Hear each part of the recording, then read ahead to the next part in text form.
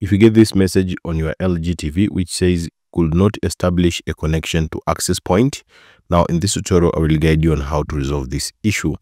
Now the first step you need to try is correct your zip code in the settings and your issue will be resolved. Know, to correct your zip code, depending on your LG TV, just go to all settings on your TV or press on the gear icon on the remote.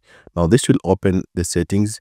Now also on the setting tab, go to general, then select system now to selecting system just and then just select here location. So also on the system tab scroll down here and select location.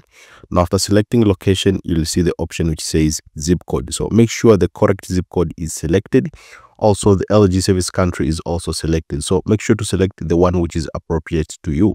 So to easily fix this issue correct your zip code in the settings and your issue will be resolved now if you do so we're just still facing again the same problem now try turning the automatic time setting to manual and ensure the correct time is set based on your location.